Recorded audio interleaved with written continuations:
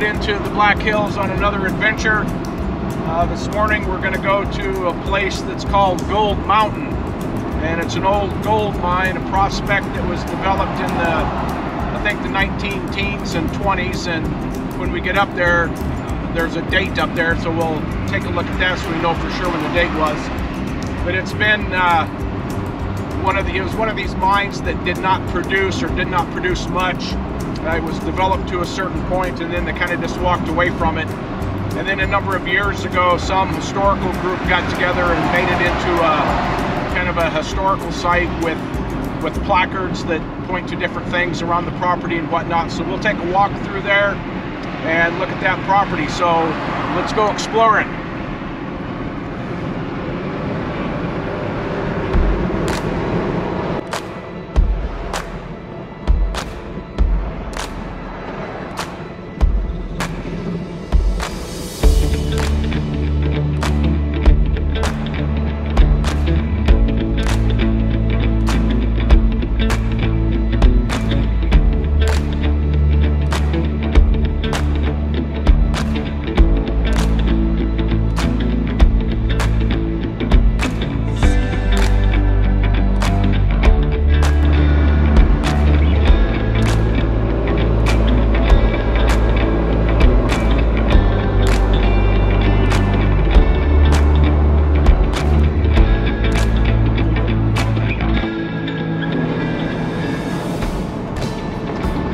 Nice day out today. Temperature wise, it's 81, the sun is shining, but it's still incredibly hazy from fire smoke. Uh, I don't think it's going to be clear around here until maybe the rains and the snows in the fall put the fires out to the west and to the north. So we're just going to have to live with, with uh, hazy skies.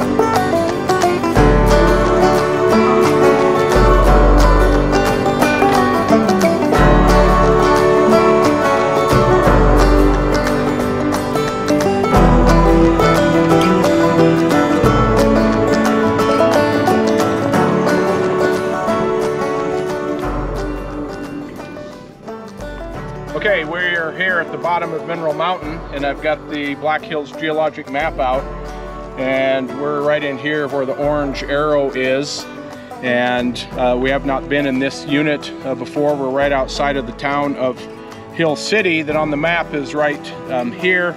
So we've come kind of west and then north on uh, Burnt Fork Creek and uh, we're right up here at Mineral Mountain. So Mineral Mountain is uh, metamorphosed black shale, early Proterozoic, and it's uh, phyllite schist, uh, garnet schist, and uh, some metagraywacke. And metagraywacke is uh, metamorphosed deep sea sediments. And so again, this was originally an, an oceanic uh, seabed and uh, the minerals been metamorphosed and some of them during metamorphism and other events that took place back even in the Proterozoic and through the Laramide orogeny, which lifted up the Black Hills most recently, uh, then some of these things have been uh, mineralized with ore grade minerals. And that was the hope here. They uh, developed this as a gold property, uh, sold it to Eastern investors uh, as a gold property. not really sure if they even pulled anything out of here. So anyway, let's go take a look.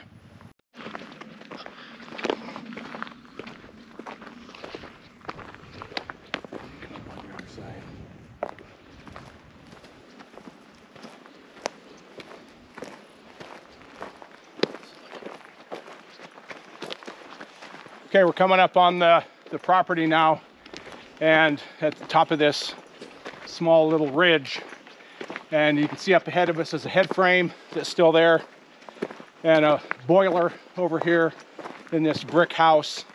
There used to be a mill on site down in the valley below us where they actually uh, brought up rock and, and crushed it.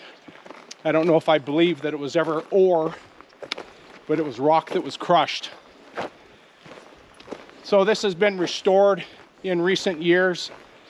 Uh, some of the timber has been replaced. The tin up on the roof is new. You can see some of the boards that are new. Some of the concrete's been replaced. The support, the vertical supports uh, for the slide up there has been reinforced and whatnot. So it's truly a just a historical monument. And then down below down here, you can see the concrete, and that's the original concrete from the uh, from the mill building and there's more down below and more down below and then down in the valley down there you can see you can see uh, more concrete where the mill was in the valley where they had a ready water source. So that's burnt fork uh, going through there uh, the little creek and was their water supply. So this is it. It's uh it's probably not more than an acre or two acre site up here uh, that was uh, developed. And uh, for and one of these boards here has some years on it. We'll find that and then see what it says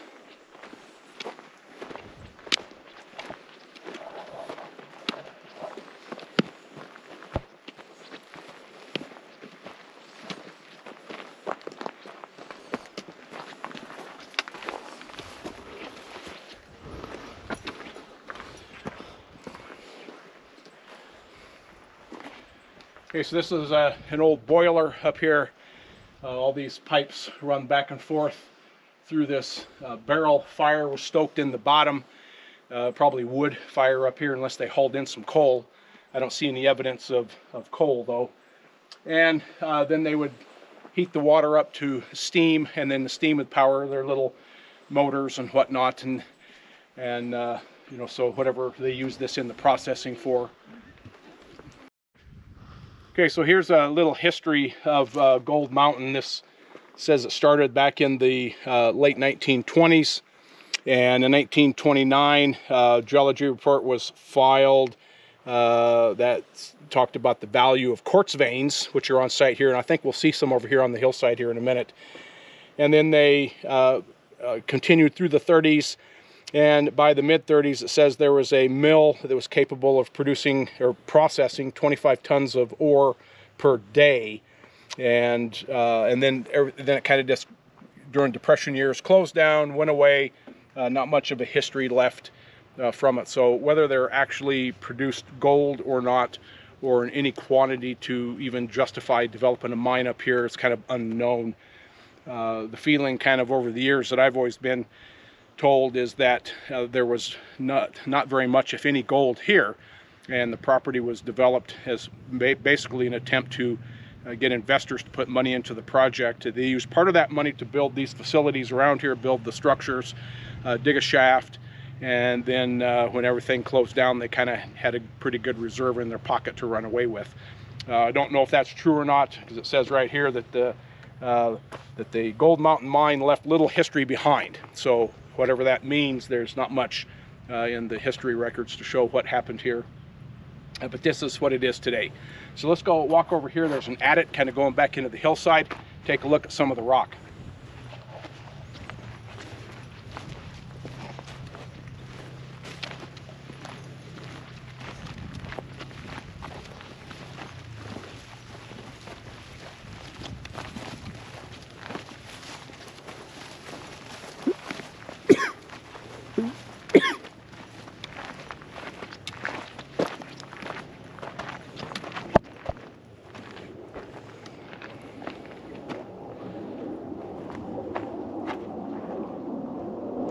Okay, so obviously this has pictures on it from actual gold mines in the Black Hills, not from here.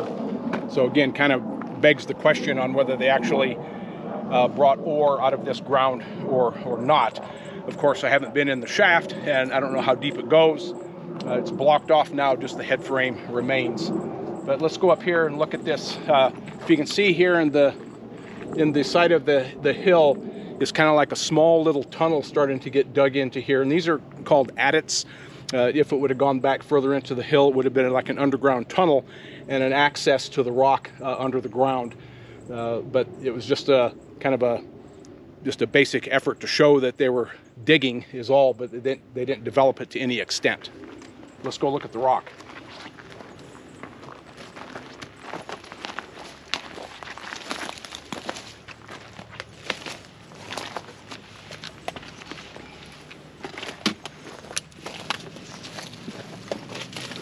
So the description said that these were were black uh, phyllites and, and black shales and muds and you can see the these are very very thinly bedded uh, very fine uh, bedding in here thin beds very very laminate very uniform.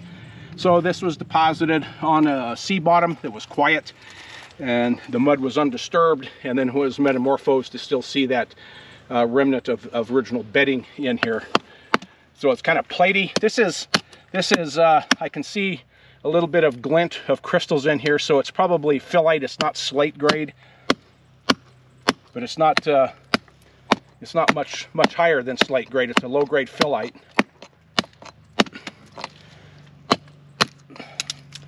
And there it goes. Uh, I'll try for something else.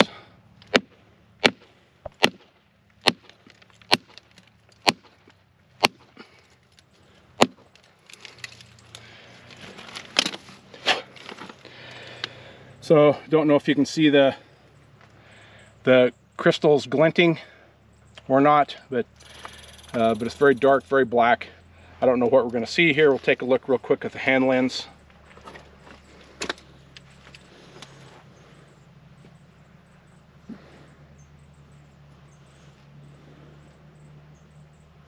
So it looks like it's mainly uh,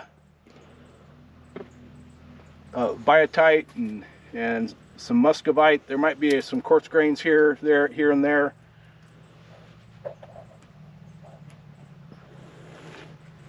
Trying to find some garnets. You don't see any garnets in here. There may be one right in the center here. It's hard to see. They're really small. But we'll take this uh, back and if there's anything interesting uh, in here, we'll look at it uh, through the microscope.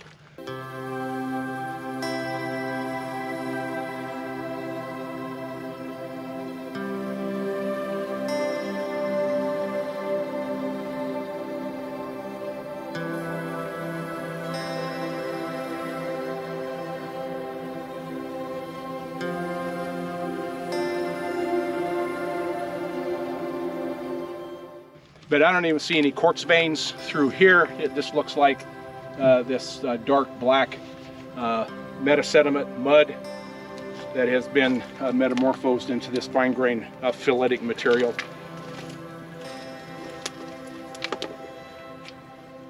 So this would not have hosted uh, more than likely any any kind of gold or usually that's associated with quartz and quartz veining.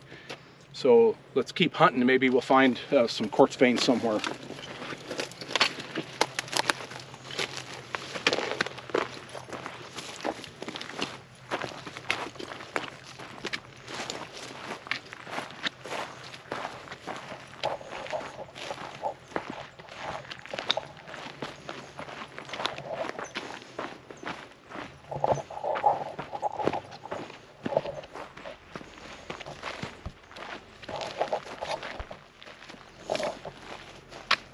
This is the same stuff as that little adit just up the hill.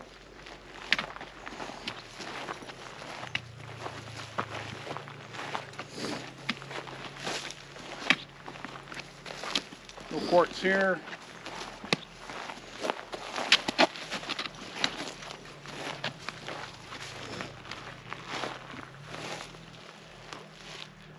Well, I don't see any quartz, so they must have they must have had uh, site of a quartz vein or something right where they dug the shaft. I see right underneath the head frame there, it looks like there's some rock. Let's take a look at that.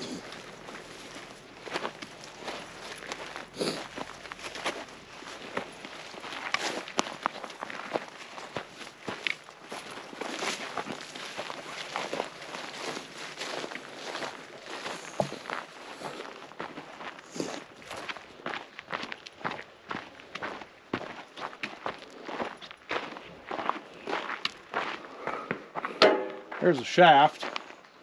It looks like it goes down only about 20 feet. I can see a Dr. Pepper can down there.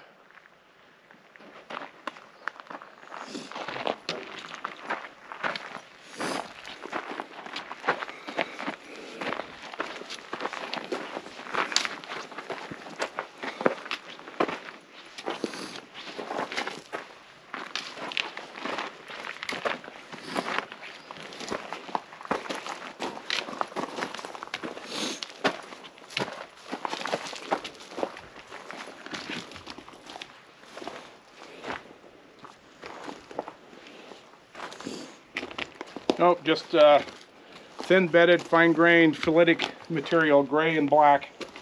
That's about all I see.